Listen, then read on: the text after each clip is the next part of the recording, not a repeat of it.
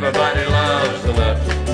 The whole world loves the weirdo. Brains are in a rut, but everybody loves the nut. There was a hermit named Fred who kept a dead horse in his cave. And everyone said to Fred, Fred, how come you keep a dead horse in your cave? And he said, Well,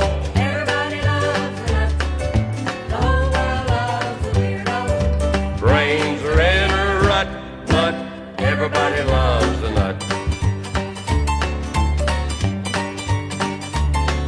A Columbia man named Frank had a tiger named Hank.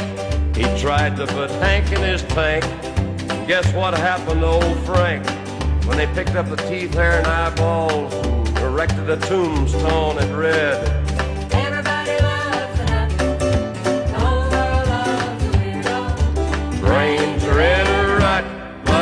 everybody loves a nut.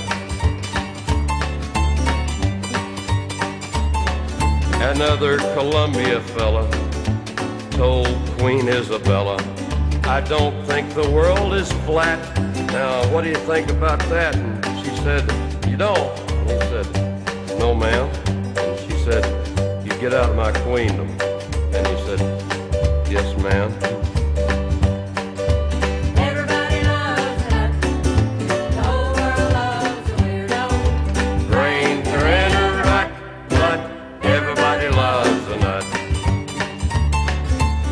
everybody loves a nut.